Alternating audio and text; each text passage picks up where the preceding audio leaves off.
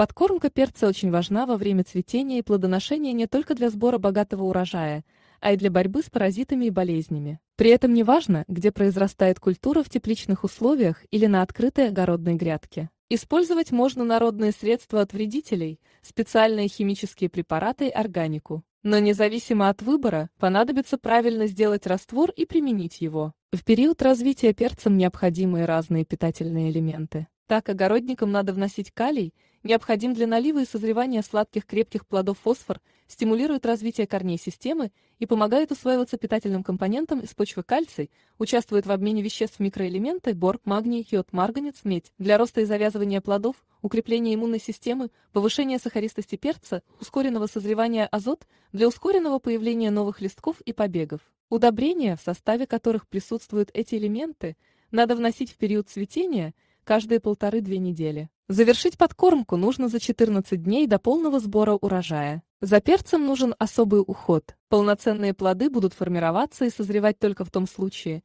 если культура не будет испытывать дефицит в питании, витаминах и микроэлементах. По этой причине при выращивании перца особое внимание нужно уделять состоянию почвы, предварительно внося все требуемые подкормки. Каждый владелец огородного участка выбирает наиболее доступное для себя средство. Перед посадкой растения в землю вносят около 20 грамм калийной соли и 40 грамм суперфосфата на 1 квадратный метр, или 30 грамм суперфосфата и столько же золы на 1 квадратный метр. Все ингредиенты надо смешать и внести под перекопку. Помимо этого не лишним будет с осени заправить грядки коровиком или перепревшим компостом. При посадке культуры в лунку добавить можно 100-150 грамм перегноя. В хорошо удобренной земле культура не будет испытывать дефицит питательных компонентов.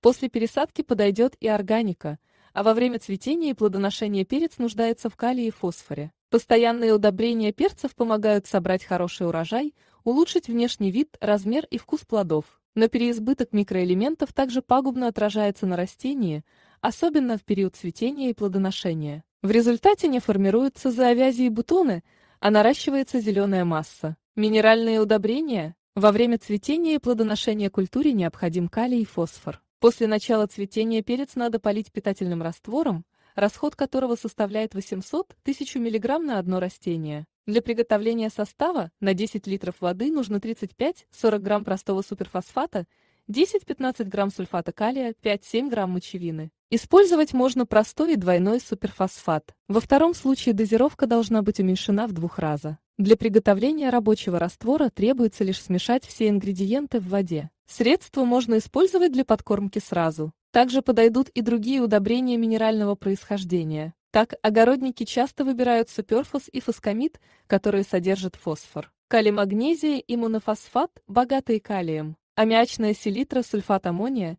Их используют благодаря наличию в составе азота. Дозировка препарата указана в инструкции и превышать ее нельзя. На этапе плодоношения минеральные подкормки надо вносить только при условии, что недостаток этих веществ отражается на их внешнем виде развития куста, замедляется листья, становятся мелкими, плоды деформируются. Кроме калия и фосфора, созревающий перец нуждается в кальции. Из-за его нехватки развивается вершинная гниль. Для профилактики растения каждые 15-20 дней надо опрыскивать раствором кальциевой селитры в концентрации 0,2%. Для цветущей и плодоносящей культуры также подходят подкормки на базе гумата калия или натрия. Благодаря им увеличивается число завязей, плоды быстрее созревают, становятся более красивыми и дольше хранятся. Владельцы огородных и дачных участков часто используют идеал исполин импульс плюс сюрприз гумисол. Развести удобрения следует по инструкции. Внекорневые подкормки нужны каждые 14-20 дней. Их вносят с начала цветения и до завершения плодоношения. Органические удобрения. Органика отличается повышенным содержанием азота,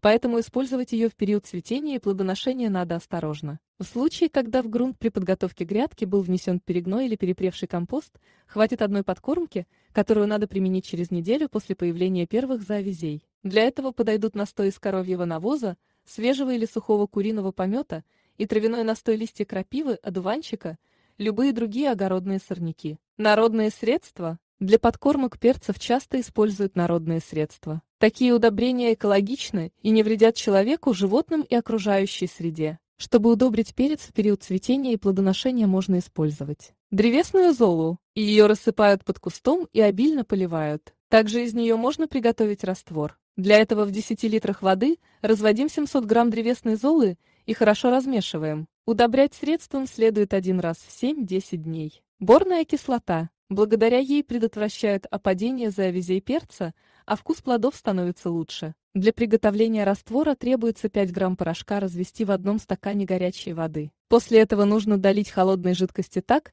чтобы общий объем составил 5 литров. Первую подкормку надо провести после появления завязей, а повторяют ее через месяц. Йод. Йод укрепляет иммунную систему растений и повышает сопротивляемость сюрпризам погоды и изменению температуры. Также этот элемент ускоряет созревание плодов и увеличивает их размер. Для приготовления раствора надо в 1 литр молока добавить 15-20 капель йода и долить воду до общего объема в 10 литров. Подкормку повторяют каждые 2-3 недели. Яичная скорлупа. Скорлупу следует растолочь на мелкие кусочки, заполнить трехлитровую банку до половины, долить теплой воды. Емкость плотно надо закрыть и убрать в теплое темное место до появления специфического аромата. Подкармливать полученным раствором требуется после формирования завязей каждые полторы-две недели. Дрожжи применять можно как прессованные, так и сухие. Упаковку продукта надо измельчить, добавить одну столовую ложку сахара, 2-3 литра воды и оставить на несколько часов, периодически помешивая. Перед использованием требуется долить воду так, чтобы получилось 10 литров. Проводить подкормки этим раствором следует в теплый день каждые 10-12 суток. Хлебный квас.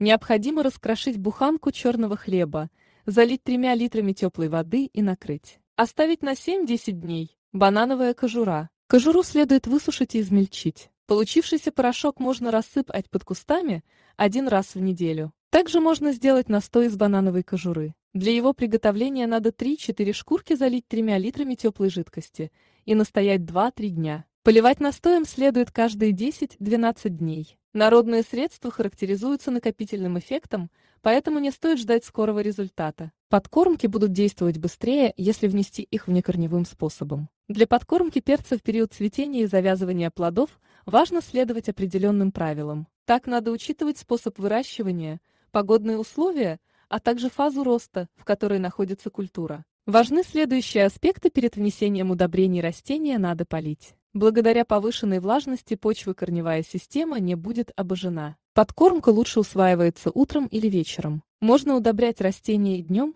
но только в пасмурную погоду. Внекорневые подкормки лучше вносить утром. Если использовать раствор вечером, то невысохшая на листьях влага станет причиной развития грибка, а днем из-за капель листовые пластины получат ожог. Слишком часто использовать удобрения нет необходимости, интервал должен составлять от 8 до 14 дней. В противном случае это может спровоцировать передозировку. Некоторые дачники отходят от общих правил и вносят удобрения в слабой концентрации, но через каждые 3-4 дня. Культуру, которая произрастает в теплице, подкармливать нужно по таким же правилам, что и растения в открытом грунте. Это важное условие для получения богатого урожая. Чтобы вырастить здоровый и красивый перец, который в будущем порадует обилием плодом, необходимо правильно его удобрять. Так использовать можно специальные препараты, а также средства без химии. Но в любом случае важно соблюдать дозировку подкормки и следовать рекомендациям опытных аграриев.